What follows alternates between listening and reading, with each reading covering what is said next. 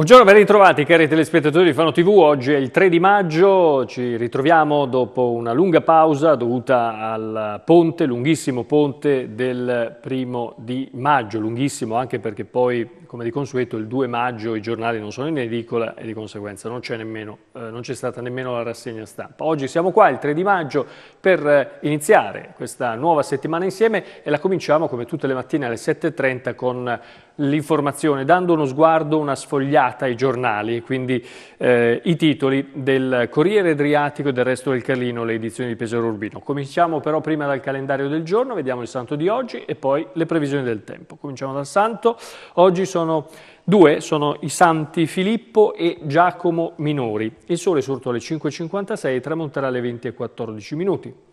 Il tempo previsto per la giornata di oggi, siamo sul sito di eh, trebimeteo.it, eh, per quanto riguarda la eh, mattinata, ecco, un po' di nuvole che continueranno e persisteranno nel corso della giornata, poi domani, giovedì, ecco il cattivo tempo, eh, la, l'annunciato peggioramento che eh, verrà marcato ancora di più nel corso del pomeriggio, mentre la sera, piano piano, e la notte il tempo migliora. Poi vedete venerdì eh, ampie schiarite, salvo addensamenti eh, sulle, sulle zone interne e questa è la fotografia della Regione Marche la mattina di eh, venerdì. Allora andiamo adesso a leggere i quotidiani e cominciamo dal resto del Carlino. La prima pagina è per la salvezza eh, tanto attesa e sospirata della VL, la squadra di basket di Pesaro. Costa rimarrà ed è già al lavoro. Non abbandono la nave, dice lui, ma non sarà facile. Dunque si riparte da Ario dopo la salvezza dei giorni scorsi. Poi, sotto la testata, le fiamme d'amore della manager, sotto inchiesta per l'incendio di Fano TV, l'ex responsabile della fiera, giornalista nel mirino. E poi il socialista eh, Giancarlo Scriboni, che voleva far volare gli aquiloni, la sua morte, tanti gli attestati di eh, cordoglio. Brucia la LG Mobili, vogliono farci chiudere e forti sospetti di dolo, le accuse del titolare dell'azienda di eh, Cappone.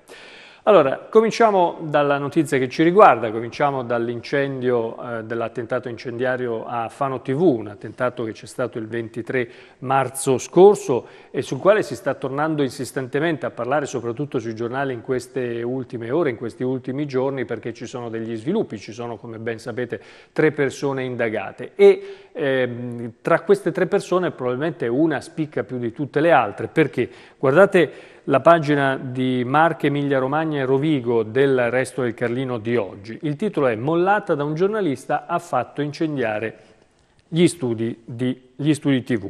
Eh, Fano, tra gli indagati c'è l'ex candidata alla regione. Allora, chi sarebbe, perché usiamo chiaramente il condizionale, chi, avrebbe, eh, chi sarebbe la mandante, la presunta mandante? Eh, almeno secondo le indagini fin qui svolte dalla squadra mobile e dal commissariato di Fano, sarebbe questa signora qua. Questa signora si chiama Antonella Zaccarelli, ha 52 anni ed è conosciutissima a Pesaro in quanto per anni è stata direttore della Fiera Espositiva di Campanara, oltre a candidarsi alle ultime regionali del maggio 2015 con la lista Uniti per le Marche. Tra l'altro la signora, eh, c'è un fermo immagine, eh, se cercate su internet, eh, dove siede proprio qui in questo studio e eh, racconta come e che cosa avrebbe fatto nel caso in cui eh, l'avessero votata. Quindi è stata qua dentro, nei nostri studi. E sosteneva Luca Ceriscioli, presidente, però poi non è stata eletta. Ma questa signora è anche eh, moglie ed è questo, scrive il giornale Elemento, che complica un po' le cose, del presidente della Camera di Commercio di Pesaro Urbino, Alberto Drudi. L'esecutore, sempre per l'accusa, sarebbe un certo Fabio Di Lucera. Queste sono cose che già sappiamo. 32 anni, muratore, uno con la passione dei cavalli, tanto che lui dice che in questa storia non c'entra nulla, racconta che la Zaccarelli l'ha conosciuta solo perché lei e una sua amica frequentavano il maneggio in cui lui tiene la sua cavalla. E l'altra amica, quella del maneggio, Giorgina Lepore, classe 51, residente a Cattolica, sarebbe l'intermediaria, quindi anche lei sarebbe indagata. Questa è la storia con tutti i dettagli che scrive Alessandro Mazzanti sul resto del Carlino di oggi, eh, quindi acquistate il giornale e tutti i dettagli li avrete su questa pagina. Poi torneremo perché c'è anche il Corriere Adriatico. La pagina di Fano invece del resto del Carlino, eh, perdo 10.000 euro l'anno per colpa dei politici, è lo sfogo di Lorenzo Benoffi, ex titolare dell'Hotel Regine, tuttora proprietario di due ettari, hanno trasformato, dice lui, amareggiato questa zona in un quartiere fantasma perché intorno c'è e vedo solo squallore, anche se a guardare la fotografia è un bellissimo posto, la zona delle terme di Carignano, eh, purtroppo è tutto bloccato, quel che resta dopo 25 anni eh, di promesse. Variante alla statale, la regione, da valutare costi e fattibilità, sulla sanità ipotesi al vaglio, intanto la politica si scatena. Mentre sopra la cronaca, la tragedia che viene raccontata in queste ore in tutti i telegiornali d'Italia, la coppia marito e moglie, Giuseppe Pirocchi e Silvia D'Ercole, che abitavano a Scerni, in provincia di Chieti, che sono morti lungo un fiume mentre facevano eh, appunto si, si, stavano fotografando, facevano un selfie. Ebbene, eh, questa ragazza, Silvia D'Ercole, 32 anni, era stata assunta alla Santa Croce di Fano nel reparto di medicina. In qualcuno, e soprattutto le colleghe i colleghi se la ricordano molto bene, e ieri quando hanno appreso la notizia eh, hanno subito fatto un sobbalzo, eh, colleghi sotto shock perché la ricordano come una ragazza solare, piena di vita, brava, gentile, era qui, dice, con noi meno di due anni fa, era qui al Santa Croce di Fano, in molti probabilmente ricorderanno questo, questo viso, questo volto. Sulla Fano Fortuna invece, l'aeroporto di Fano, si indaga sul rapporto Santorelli-Eagles. I soci vogliono capire se c'è stato conflitto di interessi. I soci eh, attuali, Ruggeri, che è il presidente in questo momento della, della, della Fano Fortune, Dice un esperto contabile verificherà i conti e quantificherà l'eventuale danno economico. La nostra fontana va salvata, siamo a Fossombrone, eh, Fossombrone che va in degrado secondo il resto del Carlino. La, la nostra fontana va salvata perché? perché sta andando in degrado, ma nello stesso tempo Cagli invece l'ha restaurata ed è tornata al suo antico splendore. Lo dice Renzo Savelli, i fondi per il recupero sono stati fatti fuori più volte, da Pelagaggia prima e dal sindaco Bonci adesso. Sotto invece un po', ecco, eh, sotto, eh, un po' di notorietà questi eh, giovani, questi bravissimi ragazzini, eh, sono matematici di una, di una, scuola, sono una scuola eh, di Calanciarino, della classe prima B, si tratta di Samuele Signorotti della classe prima B e Tommaso Mezzolani invece della terza B che parteciperanno niente meno che ai giochi matematici del Mediterraneo e sono due alunni che hanno avuto accesso alle finali nazionali di Palermo del 6 di maggio. Apriamo adesso invece il Corriere Adriatico e allora in primo piano il turismo. Perché? Perché a Pesaro gli hotel che hanno aperto dopo, per i maxi ponti, quelli del 25 aprile e quelli del 1 maggio, adesso sono di nuovo chiusi. Bene le presenze grazie allo sport, ma a maggio un calendario praticamente vuoto. Timori per la viabilità del quartiere, supermercato all'ex cinema, eh, Odeon, ma si rischia il mega center, l'opposizione con i camion sarà un caos. Mentre il Fano Calcio, l'Alma Juventus Fano, Ferrari eh, carica il Fano, adesso conta soltanto eh, vincere. E poi eh, Scriboni, eh, il lungo addio, l'aquilone volato via, oggi pomeriggio i funerali nella chiesa di Soria, protagonista della stagione d'oro del eh, socialismo. E anche qui la notizia della Zaccarelli indagata per l'attentato a Fano eh, TV. E allora ripartiamo Ancora da qui, questo è il titolo, Fiamme a Fano TV, Zaccarelli indagata, attentato a sfondo passionale dopo la fine di una relazione con un collaboratore dell'emittente, un'altra donna coinvolta, Giorgia Lepore, il direttore Ferri annuncia mi costituirà parte civile. E questo credo che sia il minimo. Dunque la notizia è che Antonella Zaccarelli, 52 anni, moglie del presidente della Camera di Commercio Alberto Drudi, ex direttore generale delle fiere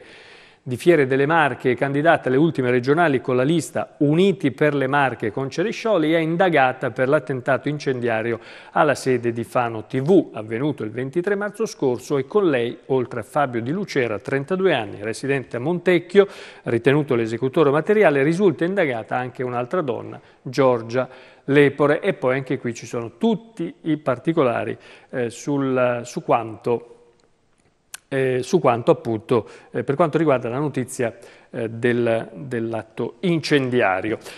Sulla pagina di Fano del Corriere Adriatico, invece, la prima pagina, Fano Fortuna e bilancio congelato, l'analisi dei conti affidata all'esperto avrà il compito di verificare e quantificare l'esercizio dell'ex amministratore Santorelli, mentre il Renzi bis, sapete anche a Fano si è votato chiaramente per eleggere il segretario eh, nazionale del PD, a Fano anche qui Matteo Renzi ha trionfato, però hanno votato metà delle persone eh, che eh, si aspettavano al voto. Eh, vittoria netta, ma crollo nell'affluenza alle urne rispetto al 2012-2013. A Fano la vittoria di Matteo Renzi è stata sancita con il 77,8% dei voti. Soddisfazione per le, l'elezione invece di Dimitri Tinti, capolista della stessa mozione in provincia all'Assemblea nazionale e quindi insomma adesso eh, anche a Fano, comunque il Partito Democratico si sta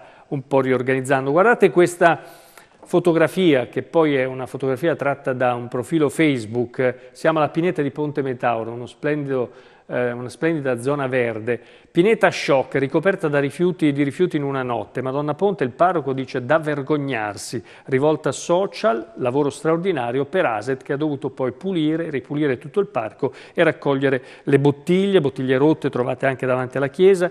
Campeggio del primo maggio da censurare. Questo è il titolo. Urbino, da Mazzaferro a Fino Miniera, strade groviera nelle frazioni. L'opposizione torna a chiedere interventi anche fuori dal centro storico. Poi, eh, Profili, questa è la politica, siamo a Colli al Metauro, la sfida per la campagna elettorale, qui nella fotografia vedete il candidato sindaco di Colli al Metauro Stefano Guzzi.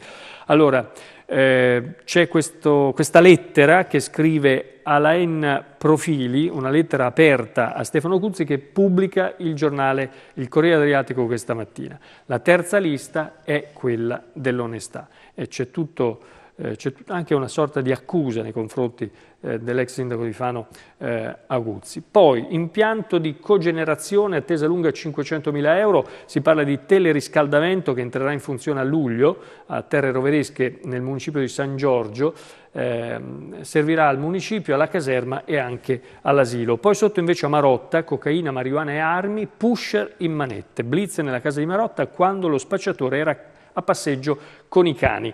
L'ultima pagina è quella di Senigallia, ospitalità e prenotazioni, la spiaggia ritrova slancio, riapertura degli stabilimenti, cincine buoni presupposti nonostante la eh, Tari e poi sotto autorigate fusti di birra in mezzo alla strada anche una panchina rotta nei giardini del Vivere Verde.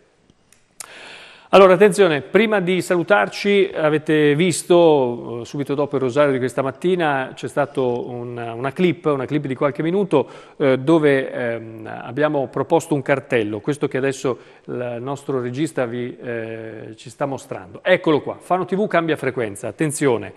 È importante, questa è una cosa che faremo, penso e spero, credo, eh, domani, eh, nella giornata del 4 di maggio. Comunque, al di là del giorno e al di là dell'orario che ancora dobbiamo stabilire, le cose importanti da sapere sono queste. Fate attenzione. Allora, Fano TV resterà sempre e comunque sul tasto del telecomando al numero 17, quindi ci ritroverete sempre sul canale 17. Um, ehm, cambieremo la frequenza perché quella che il Ministero mh, ha dato e quella sulla quale ancora stiamo trasmettendo purtroppo non è visibile perfettamente nelle zone di Fano. Poi sul resto della regione è perfetto, però sulla zona di Fano purtroppo ha qualche lacuna e quindi siamo dovuti correre ai ripari.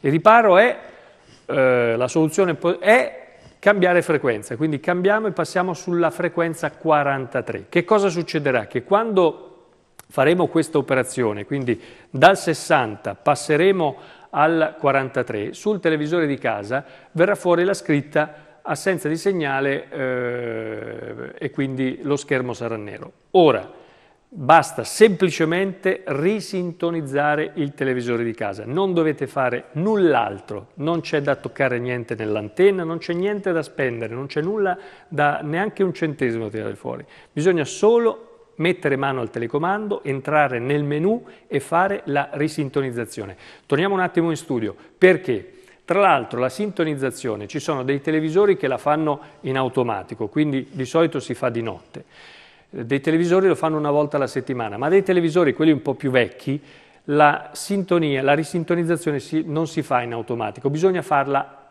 a mano, manualmente.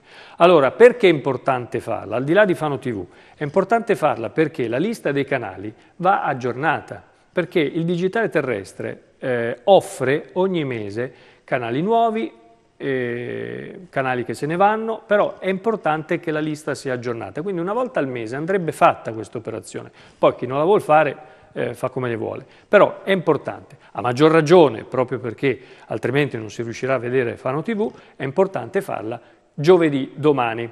Ok? Quindi se avete bisogno, torniamo un attimo sul cartello, se avete bisogno le informazioni le trovate, le metteremo sul nostro sito occhionotizia.it, sulle nostre due pagine Facebook Fano TV oppure Occhio la Notizia, oppure, e questo è importante, chiamate noi 0721 86 14 33, chiamate noi, ok? Il numero eh, 0721 86 14 33 l'abbiamo messo a vostra disposizione, vengo io a casa vostra a fare la sintonia del, del televisore eh, gratis e quindi questa è un'operazione da fare assolutamente.